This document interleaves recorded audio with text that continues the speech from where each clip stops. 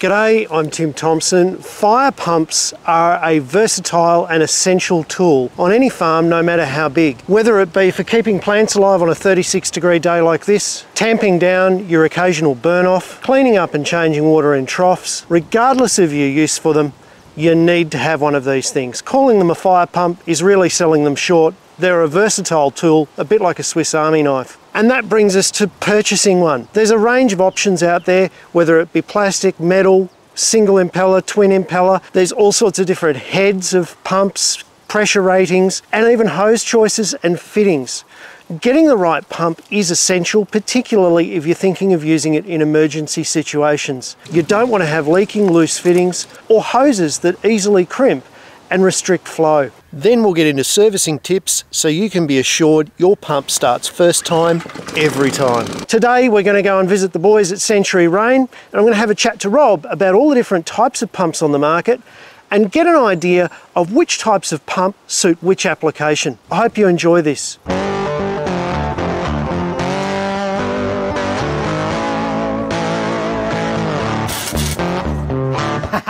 Right. Tim, how are you, mate? Nice to see you. Greg is yeah. my favourite plumbing people. Got me out of trouble on a number of occasions. Today I'm hoping you can do us a favour. I've had a couple of subscribers ask about fire pumps because there's a million models out there. How to choose between them, what you should get for different situations, how to set them up, and then I think it's really important we talk about how to maintain them because that's one piece of equipment you want to, you want it to work maybe once every 10 years, but it better work. Absolutely. Yeah, so have you got some out the back we can have a look at and go through a few features of? Yep, sure Got a few to have a look at. Beautiful. All right, Rob, well, first up, before we have a look at servicing and looking after pumps, we better find out what we're buying. Now, there's a bit of a range here and there's a range in price, isn't there? There is a range in price, yeah, absolutely. If I'm at the budget end and I've just got a little hobby farm and I'm looking for one of these little puppies here, what sort of performance can I expect out of the pump? Well, this pump here will give you a head of 24 metres. Okay. So you're limited to the height up to 24 metres of spraying if you've got tall trees. So head is how far up, Up, the pump will that's spray, correct, it's the yeah. pressure. That's how correct. high it will go. Yes, that's correct. Okay, so 24 metres up. It's still Yep. a long way. It, absolutely it is, yeah. And that's ideal for the back of a little fire trailer or something Perfect. like. Yep, running off a little IBC or something like that would be would be ideal. Yep. So what's the reliability of these things like, seeing as they're all Chinese made? The reliability is fairly good. I mean, we've had none of these come back. Um, Yeah. But we do have an importance in service. Keep it serviced, keep it Yeah, running, yeah. test it out of season, test it in, uh, a couple of times a year, let it run, let it perform. So we're going to talk to Greg about that a little bit later on. Mm-hmm. Um, and that goes for all of these pumps, but as long as you keep these things serviced and you bear in mind that they have a limited performance, Mm-hmm. they're ideal just for looking after your little burn-offs and things like that, Yep. then they're a useful tool. Absolutely. Very useful tool. So just under 400 bucks for that little guy. That's correct. Is a big jump up to this one, isn't there? It's almost double in Almost price, double. but you're getting double performance. Okay, so what's the head on this one? The head on this one's 62 metres from memory. So any tall stuff, trees, buildings, whatever you want to do, it's going to spray. Yeah, and knowing the capacity of the pump's important. You don't you don't buy a little pump like this and think, well, I'm always going to be spraying 20 metres up in the air, do you? No, that's right. When looking at data on pumps, there's two important things. You've got your flow and you've got your head. Your head is how high you can spray, and you want to be somewhere in between. Somewhere in the middle there would be for longevity, would be the perfect place to be. Now, I also noticed that there's a bit of a difference with the outlet manifold on these two. With this one, you've only got a single option, one direction. Yep, Um, with this one here, you've got two smaller and one larger outlet manifold. that's correct. Yep, Gives you a little bit more flexibility there. absolutely. Yep. So the next one, mate, goes up about 100 bucks only. So we've, we've gone from 400 to double that 800, and now we're at 900. What do we get for 900? 900, you get a Honda engine, Okay, as opposed to Chinese. as opposed to Chinese. That's correct. Um, Chinese wet end, but assembled in Australia.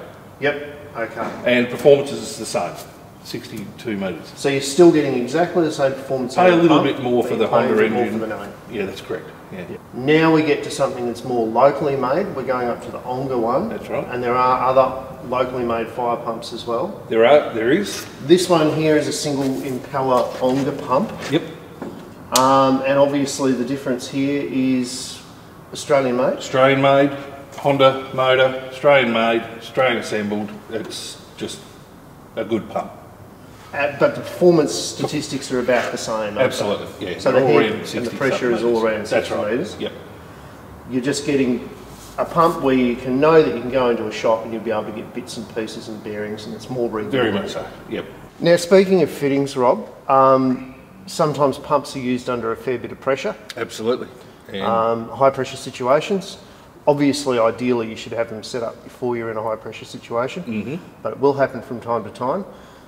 There are some fittings you can get to make assembly a lot faster and easier. absolutely. So, can you talk me through Yeah, this? these are Camlock fittings. Yep. And they're a quick release, quick quick assemble. You'd have your suction hose on this, Yes. get your water source, straight in, clipped up, ready to go. That's it. That is fantastic. Now, they're not a huge investment, are they? No, no, no, they're under 10 bucks. Around 10 bucks, 5 to 15 bucks. I'm going to get some of those for my pump before I leave because there's nothing more annoying than trying to screw on a little plastic fitting, you cross thread it, Gone are the days. and if you're shaking and you've got adrenaline going, Yep. this is the way to go. And a lot of the time, if you need to use these things, it will be in a high stress time. Now, suction, that's something I want to talk to you about as well. Your suction pipe shouldn't be too long, should it? As short as you can keep it. If you're throwing it into a dam or a water source, Yep. um, ideally if you've got a IBC, one of those square. Thousand litre tanks, they're perfect set up in the back of a trailer. But if you've got to use, throw a suction line down into a water source, Yep. try and keep it as short as you can. So a metre or two if possible. Oh yeah, yeah. Look, you can throw it up to about four or five metres. Yep. But once again, shorter the better. What's the reason for that? Why do people have trouble with long suction lines? Easier to prime, quicker to prime. Yep. Less things can go wrong with it. Um, the pump's not working as hard to draw the water. Yep. All sorts of things like that. Yeah. Okay, so big tip there when you're buying your fire pump, make sure you buy one that you can move to the water source. Yep. So that's good learning on the pumps, and you really do get what you pay for Absolutely. in terms of flow and performance. Yep. Um, so we've got to be careful if we're only going to spend $400, we've got to understand we're only getting a low capacity pump. Um, and I love these cam locks. I'm going to walk out of here with a set for myself. I notice you've also got a hose reel here. What's the damage on something like a hose reel, and why should we consider getting one? Consider getting one of these. You could uh, to be fixed into the back of a trailer or a ute or whatever it is with one of those IBC tanks. Yep. Cost of one of these under 400 bucks, Right? um, but money well spent. And for that, you're getting a few extra metres of hose. aren't you? Yeah, 36 metres of hose, um, and it's it's just a, a good safe bet. The last thing you want to be doing is dragging too many big hoses or long hoses through paddocks or whatever Yep. you're doing once it's full of water. I do notice that all of the fire pumps that you've been showing to me are all aluminium in the wet end. Yes? You wouldn't recommend any Plastic, plastic, no. components in any pumps? No, because there's, there's every chance you're going to use this in an emergency situation. Yep. And the last thing you'd want to be a wet end cracking or um, breaking or snapping, a fitting snapping or anything like that. So I would definitely suggest aluminium or metal. Now let's go and bother Greg, find out how to start one of these things first pop every time and the things that you should check before you do that and then how to look after them and service them so that they're ready to go. Let's go and annoy Greg. Let's go and torture him. Let's do it. Now, of course, all of the pumps that we'd seen in the shop so far were single impeller pumps, and the limit of those is around about 60 to 70 metres of head. If you really need a forceful pump that can push water a long way, then you're into the territory of the twin impeller. Greg had one out the back that can go just over 100 metres, so he took me out to have a look at the startup procedure for any pump and to give a high pressure pump a bit of a run. Okay, first thing we're going to do is check the oil. And on these little fire pumps, you don't get much rigger room. So I'll clean that. I always screw it all the way in because if it's got no oil in it, it won't start. If it's got too much oil in it, it'll cause other problems. So this is a little bit low, should be about there with the, the dipstick fully screwed in.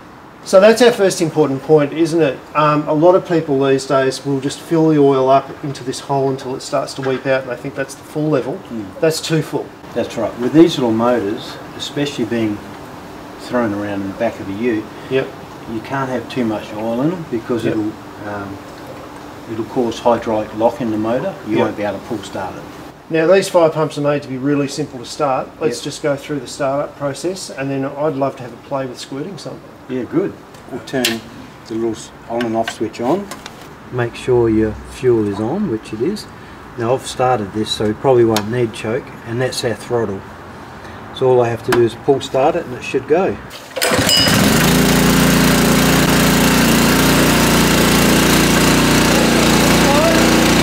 fix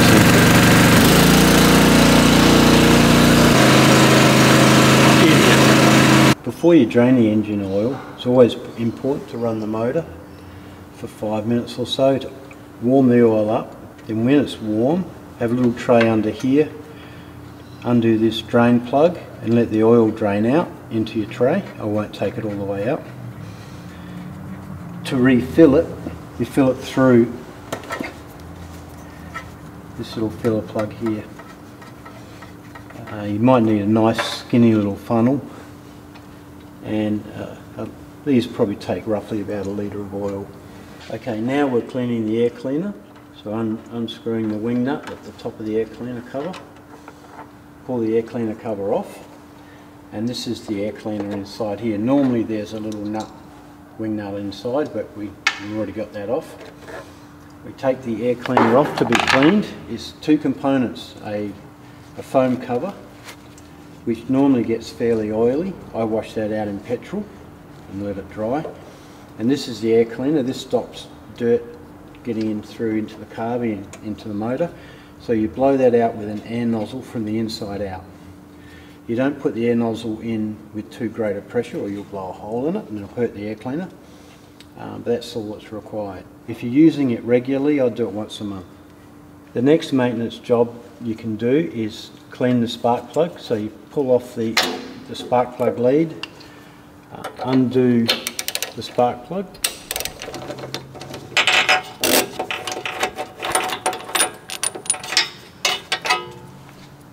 Now this one's brand new so it looks really clean but your spark happens between those two points there so that needs to be cleaned so you can clean that with a wire brush and also you can open the gap and clean it with a little file as long as you've got a feeler gauge to um, reset it.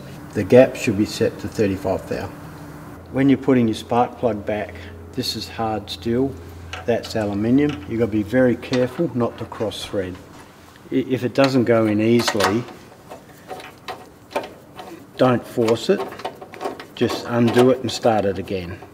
The other thing is when you're tightening them up, don't over tighten them, just nip it up. You can drain the fuel a couple of ways. You can run it down in the tank and just run it until it shuts off. That's a good way of doing it because you, you drain all the fuel out of the carby as well. The other way, now this is a little bit difficult. Some motors have a fuel line connected to the, um, the carby that's easier to get to. This one hasn't. So we put the fuel line on around the side and we undo this bleed port at the bottom of the fuel bowl and drain it into a cup or a container. Greg, thanks very much, mate. You've taken us through an amazing amount of information about fire pumps. People should now have a little bit more knowledge mm. about what they're choosing and what's on the marketplace, and you do get what you pay for after all. Um, but knowing how far you've got to go in that scale of what you pay for is important. And I think also the message about servicing pumps is important, isn't it? Yeah. I think as long as you, if you, it doesn't matter what pump you buy, if it's a reasonable quality pump, if you look after it, they'll last you a lot of years.